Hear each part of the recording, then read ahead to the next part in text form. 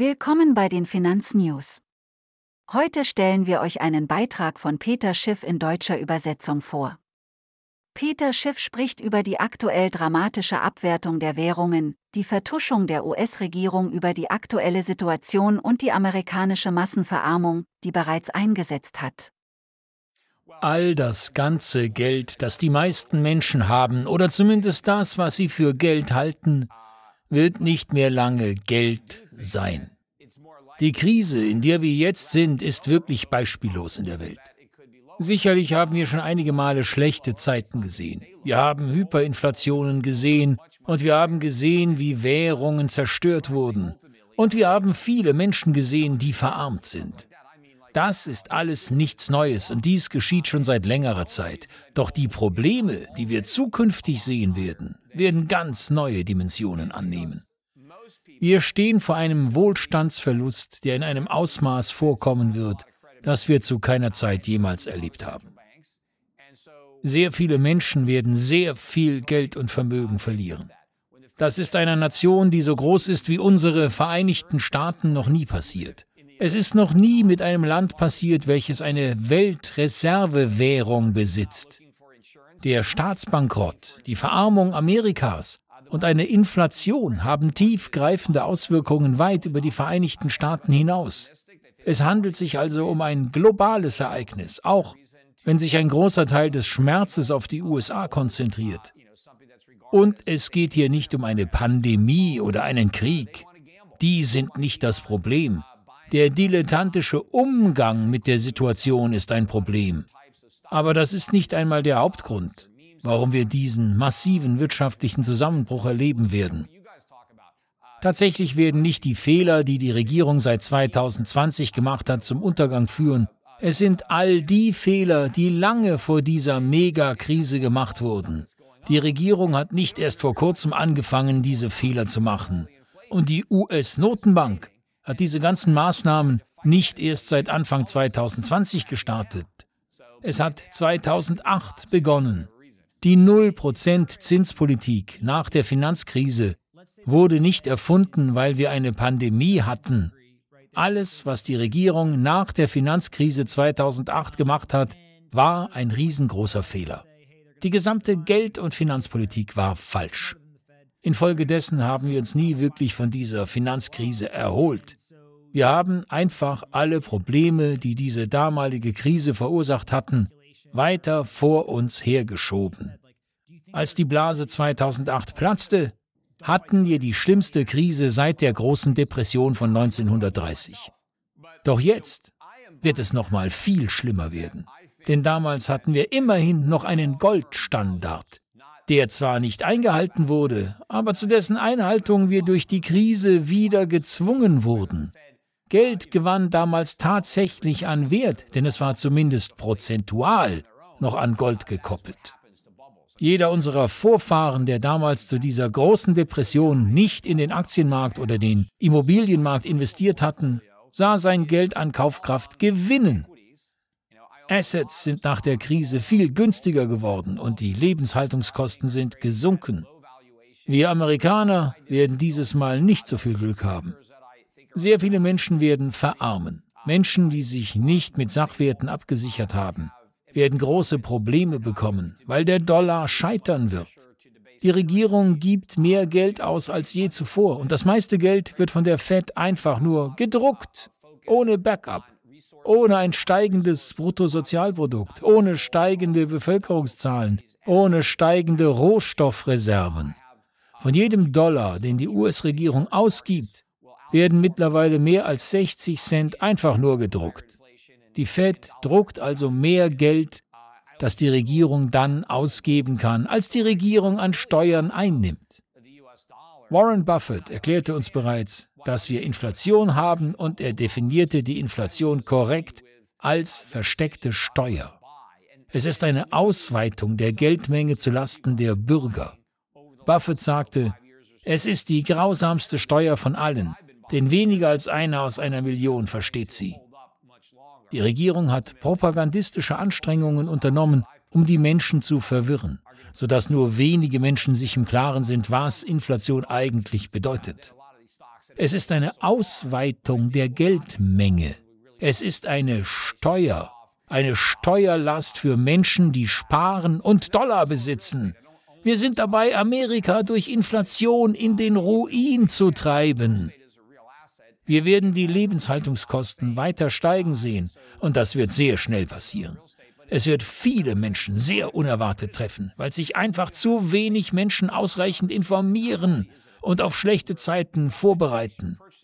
Die einzige Möglichkeit, wie die Federal Reserve verhindern könnte, dass der Dollar zum Spielgeld wird, ist eine komplette 180-Grad-Wende in ihrer Vorgehensweise. Die letzte Person innerhalb der US-Notenbank, die das Richtige getan hat, ist heute leider nicht mehr am Leben. Es war Paul Volcker im Jahr 1980. Warum brach der Dollar in den 1970er Jahren zusammen? weil wir in den 60er Jahren zu viel Geld gedruckt hatten für Finanzierung eines dämlichen Vietnamkriegs und für diverse Sozialprogramme. Um das zu verschleiern, stieg die Nixon-Regierung einfach aus dem Goldstandard aus. Der Dollar verlor über Nacht etwa zwei Drittel seines Wertes gegenüber anderen Währungen wie der deutschen Mark, dem Schweizer Franken oder dem japanischen Yen. Gold stieg zu dieser Zeit um das 20-fache von 35 Dollar pro Unze auf über 800. Der Ölpreis stieg um das Zehnfache. Der Dollar wäre damals fast gescheitert. Aber dann hat Paul Volcker die Zinsen um fette 20 Prozent angehoben und somit konnte er das Vertrauen zum Dollar wiederherstellen. Doch heute funktioniert dieser Prozess nicht mehr. Denn die Zinsen können nicht bis zu 20 Prozent steigen. Das ist unmöglich, denn wir haben aktuell so einen hohen Schuldenberg angehäuft, dass es unmöglich ist, die Zinsen zu erhöhen. Aber um den Dollar vor einem Zusammenbruch abzuhalten, muss die Federal Reserve leider die Marktzinsen steigen lassen. Ich denke, die Quote müsste tatsächlich über 20 Prozent gehen. Aber genau hier ist angesichts der unendlichen Schulden nun ein massives Problem. Wir können uns nicht mal einen Bruchteil davon leisten. Wenn die Fed also das Richtige tut, um zu verhindern, dass der Dollar zusammenbricht, muss die US-Regierung auf ihre Staatsanleihen verzichten. Die Mehrheit der Schuldner wird am Ende in Verzug geraten, und das wird nicht nur die US-Regierung sein. Die Regierung wird nicht nur ihre Staatsanleihen nicht bezahlen können, sondern sie wird auch ihre Rentenverpflichtungen nicht erfüllen. Und es wird unter anderem zum Ausfall von Sozialleistungen, Medicare-Leistungen und garantierten Darlehen kommen. All diese leeren Versprechen werden aufgedeckt, wenn die Fed das Richtige tut. Aber wie hoch ist die Wahrscheinlichkeit, dass unsere Regierung und die Zentralbanken zukünftig einen anderen Weg einschlagen? Also bleibt am Ende, anstatt das Richtige zu tun, wird alles noch viel schlimmer werden. Und wir werden die Zinsen nicht ausreichend steigen lassen. So wird der Dollar weiter an Wert verlieren. Die Inflation wird die USA und viele andere Länder regelrecht verwüsten. Ich fasse zusammen.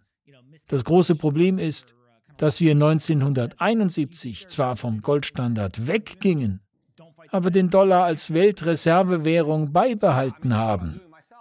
Die einzige Möglichkeit, das zu reparieren, ist nun, den Dollarstandard aufgeben und zurück zum Goldstandard gehen. Denn das System, was wir aktuell versuchen am Leben zu halten, kann nicht mehr funktionieren. Die Stufe 2 der Vernichtung ihres Vermögens hat begonnen. Die Inflation hat sich sprunghaft von 1 auf 5 Prozent erhöht. Der Anstieg ist eine Erhöhung um 400 Prozent. Was bedeutet es für Ihre Vermögenswerte? Angenommen, Sie haben 100.000 Euro auf Ihrem Konto.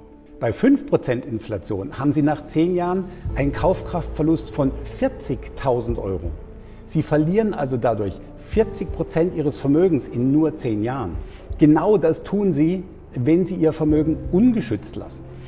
Mein Name ist Alexander Streb. Ich bin seit über 35 Jahren Unternehmer, Mitbegründer der Vermögensverwaltung German Capital Management AG. 400 Prozent. Eine Situation, wie wir sie heute sehen, habe ich in meiner ganzen Karriere seit über 35 Jahren noch nie erlebt. Man greift ihnen damit persönlich ganz, ganz tief in ihre Taschen. was, wenn sich diese Inflationsspirale immer weiter nach oben dreht? Was, wenn es 10% Inflation wären?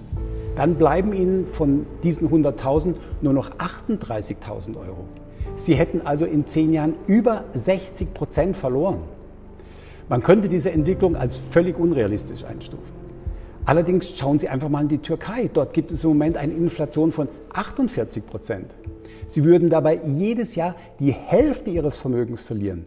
Und die Europäische Zentralbank hat in den letzten beiden Jahren 25 Prozent aller in Umlauf befindlichen Euros neu gedruckt. Dieses massive Gelddrucken verstärkt über kurz oder lang die Inflation immer weiter.